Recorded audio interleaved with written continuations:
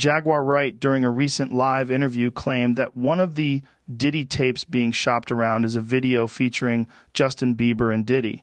If true, this is incredibly worrisome as it involves a well known child star, Justin Bieber, who has already faced immense pressure and scrutiny from an early age. The Star Trek episode being promoted is all about a Donald Trump assassination attempt.